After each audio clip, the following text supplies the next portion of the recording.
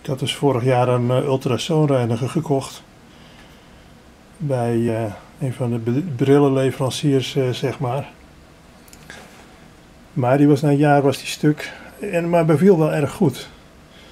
En toen zocht ik een vervanger. En voor twee tientjes meer had ik toen deze. Wat een laboratoriumapparaat is. Je kunt op verwarmen zetten. Dus dan wordt het water warm. Het staat nu op 25. Voor mij staat hij op ergens 35 ingesteld. Maar met een lagere temperatuur werkt het wel. Maar het andere ding, daar moest gewoon water in. Dat uh, kan bij deze ook. Je kunt hier ook uh, een drupje afwasmiddel erbij doen, dan werkt het beter. De wat duurdere, dan moet je speciaal spul erbij kopen, maar dat is bij deze niet zo. Hier kun je gewoon afwasmiddel gebruiken. Het is roestvrij staal van binnen. Het water is niet helemaal schoon momenteel, maar je kunt het toch goed zien. En dit ding is geweldig. Die, die oude, daar moest die vijf minuten in. En soms een keer een tweede vijf minuten mijn bril om goed schoon te krijgen. En deze is een minuut genoeg.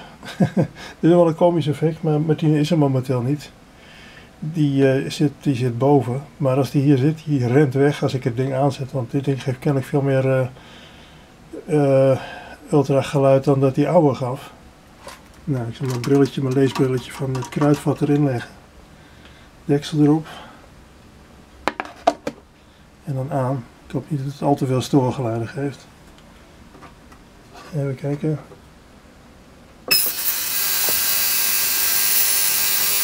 Ja, ik ga wel herrie. maar dit ziet er professioneel uit.